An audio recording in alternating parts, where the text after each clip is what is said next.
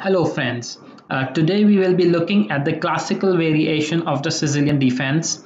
Previously we have explored Najdorf and Dragon variations.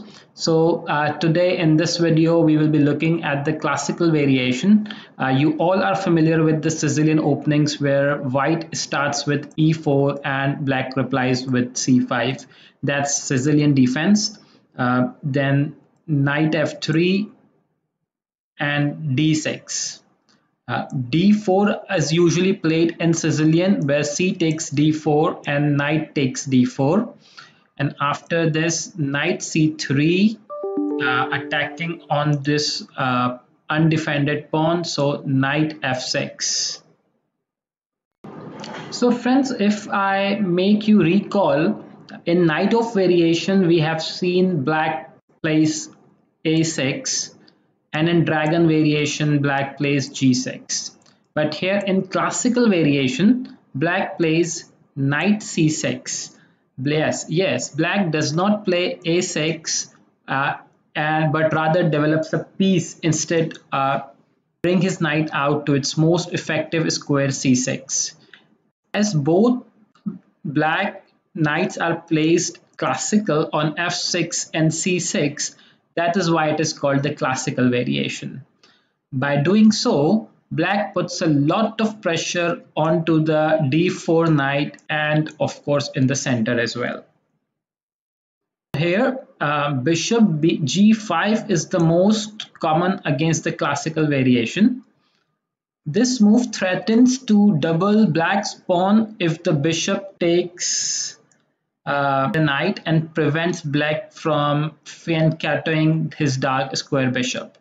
I show you a sample line here. See if black bishop takes f6, then black has to capture either with e uh, e6 or g6. In both cases, black, say for example, say here black captures with e6.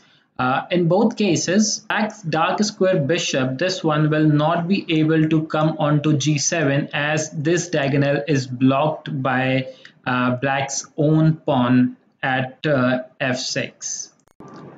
So as you see, um, white is threatening on the king side. e6 is the main line preventing double pawns on f file. It also gives center control to the black. c squares uh, f5, e5, d5 and c5 are all controlled by black pawns. So here on this position, queen to d2 is the main line for white here, whereas it is important for black to also control the b5 square. Uh, so a6, um, which we have seen in Najdorf variation as well. Uh, I will show you a sample line. Say if you don't play a6 and play bishop to d7 instead, um, d knight d4 knight can go on to the b5 and increases pressure onto the uh, d6 pawn. So that's why a6.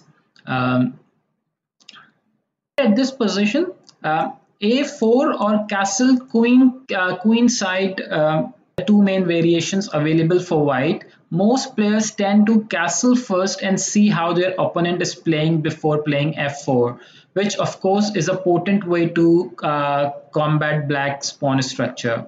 So I will show you here uh, f4. If you play f4, so here what, what white is trying to do is to combat uh, and take control of the squares um, f5, e5 and d5 uh, in this way. F4 makes a lot of sense here, uh, which is why it is very popular these days. Um, another variation which we can see here from white is F3 and G4 uh, attacking onto the king side um, and depending how the game develops say H6 um, you may need to retreat the bishop to F3 clearing the way for G and H uh, file pawns to march forward. Um, so friends, to summarize the classical uh, Sicilian uh, to move knight from uh, c6 instead of a6 or g6 as we examined uh, previously. Black's idea here is very simple.